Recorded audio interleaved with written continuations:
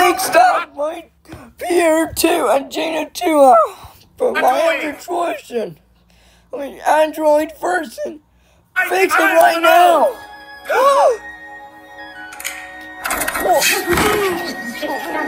oh.